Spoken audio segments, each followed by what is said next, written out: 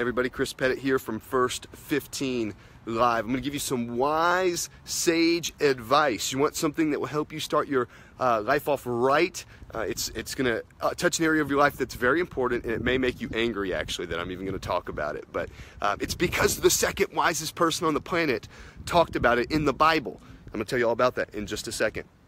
If you're new to First 15 Live, my name is Chris Pettit, and we do this because we believe that every believer should spend at least 15 minutes with God every day. And so this small video is part of that. So we try to keep it short so you have some time to spend in prayer uh, afterwards. So we want you to engage with us. And so you can follow along with the Bible reading plan. There's a link on our page. Also, if you want to see these every day, go like our page, and then at the top you can hit following, and there's a little pencil for edit notifications. Hit that, and you can actually choose to see when we go live every morning. And so one of the things we try to do is have a 100% share rate. So if you haven't shared this video, whether you're watching live or later, go ahead and share and then go ahead and comment because we want to engage with you in the comments. So good morning, everybody. Let's dive in. And so in the book of Proverbs, um, we read two verses this morning and they had to do with an, a very important subject money. Because here's what the second wisest person to ever live, the first being Jesus, the second wisest being Solomon. Here's what he knew money is important. And in fact, if you don't think money is important, let's see what happens when I try to take some from you. What? Take some?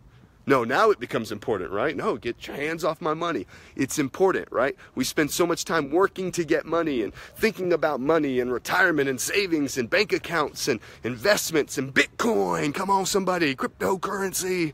All these different things we think about because money's important. And what does he tell us to do? He tells us to give, to give, to trust God with our finances by giving. And not just give any portion, but what do we do? We give the best portion, the first portion.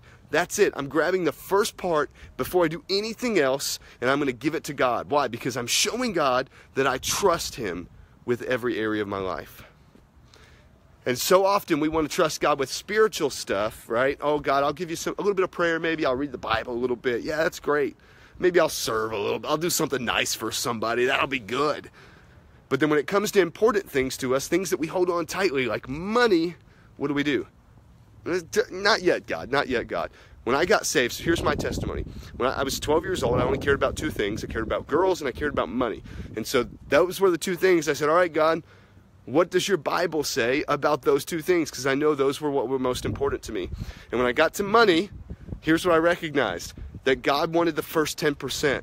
And so I gave him that first 10% and have done so for the most part since I was 12 years old. I had two different times that I forgot to tithe and I didn't tithe, and those are the only two times in my life where I was broke, broke. You know, like like you know, like belly button sucking on my backbone, broke. You know what I'm talking about? And so, anybody ever been broke like that? Come on, somebody, say me in the comments, uh, or give me a thumbs up. Come on, and uh, and so you need to trust God with your money. And what does the the Proverbs writer of Proverbs Solomon promise us? That God will bless you. God will take care of you. So I want to challenge you as you start this year off, start it off right by trusting God with your money and say, God, let me give 5%. Hey, and, and maybe, maybe, look, I'm gonna give you permission to cheat. Maybe you're not ready for five or, or, or for 10%. Um, I, I, start with five. Maybe you're not ready to give the full tithe, which is 10%. Start with five. I'm gonna give you 5%, God. I'm gonna give you 2%. I'm gonna give you, you know, 1%. But be consistent and let that percent grow and watch what God does in your life. Amen? Trust God today with your money. I know, no, I, people make arguments about it. Why do they make arguments? Because they love it. Sometimes they love it more than they love God. Sometimes they trust their bank account more than they trust Jesus. And that's what God wants to break you from. Amen? Good morning to everybody. If you haven't shared again, go ahead and share. Tag somebody in this video um, and say, hey, listen, here's what I want to do this year. Uh, if, if you're planning on trusting God with your finances, share this video and say, this year I'm going to trust God with my finances. All right? And uh, let's make a declaration to others and let, let, uh, let it encourage others uh, to do the same. Let me pray for you. Father, I pray for all those, Lord. We've had um, several people, Lord, talk about cancer, Lord. Uh, I know Michelle's mom, Lord. We pray for healing for her, God. Uh, Lord, we pray for anybody battling any kind of sickness. We know there's been a lot of sickness going around in January so far. We rebuke it in Jesus' name. We pray, Holy Spirit, that you would bring healing right where they're at, even right now as we pray. God, I pray for financial blessing on everybody watching this. You would help us to trust you with our finances in every area of our life. And Lord, I pray, um, God, that you would make us world changers. God, encourage us, Lord, to put you first in our lives and to honor you today in our actions. In Jesus' name we pray. Amen. Hey, go be a world changer today because that's who God made you to be, right? Find somebody to encourage, find somebody to bless, and, and, trust God with your money today.